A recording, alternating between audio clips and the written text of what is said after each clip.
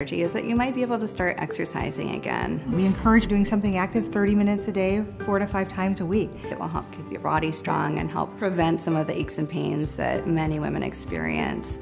Walking is excellent. Elliptical machine is a good choice. Yoga or pool exercises are great because when you're in the pool, that extra weight of your baby, you can't feel as much, but you're still getting great exercise. The only kinds of exercises that we really recommend avoiding in pregnancy are the ones that would put you at risk for a fall. Where you might lose your balance. So things like horseback riding, water skiing, snow skiing. So exercise to the degree that you'd be able to carry on a conversation while you're exercising. If you are too out of breath to talk to the person next to you, just take it down a couple of notches. And modify those exercises as needed to keep them from being uncomfortable.